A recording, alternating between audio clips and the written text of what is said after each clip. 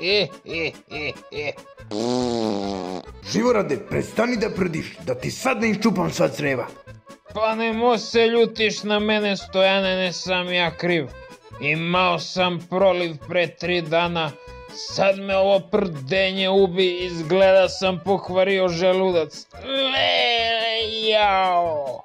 Stojanke, pomagaj, sestro slatka, jao. Tebi ni Sveti Petar ne može da pomogne Živorade, sklanji mi se kad ti kažem.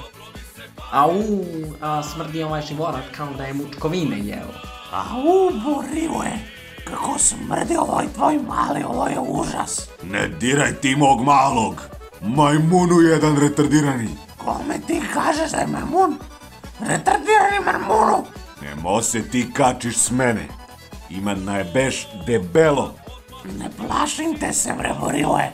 Ne moš mi ništa. Konjino matora. E sad ću da ti pokažem ko je matora konjina. Debeljane, debeli majmunu.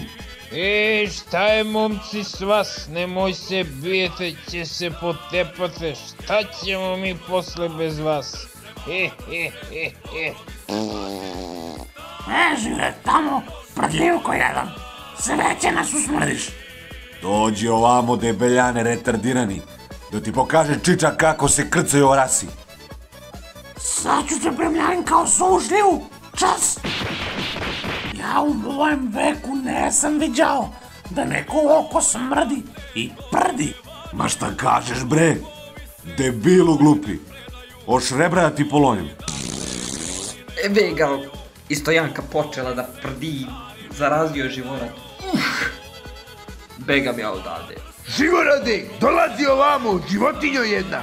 O Stojane, o Stojane, jabuko sa grane. Kude si bre? Živorade, ne vredi ti da se kriješ, će te nađemo mi. Samo se ti zajebavaj s mene, sad će i ti da počneš da prdiš.